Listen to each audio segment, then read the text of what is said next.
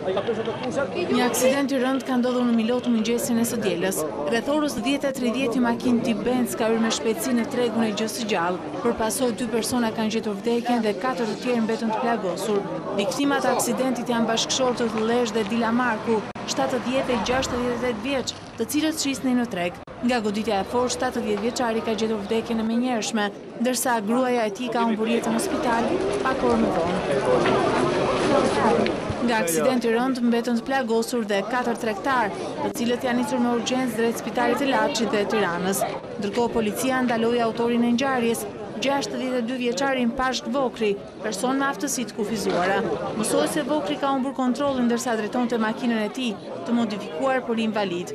Pas verifikimeve të policisë, autori i ngjarjes rezultoi pa leje drejtimi.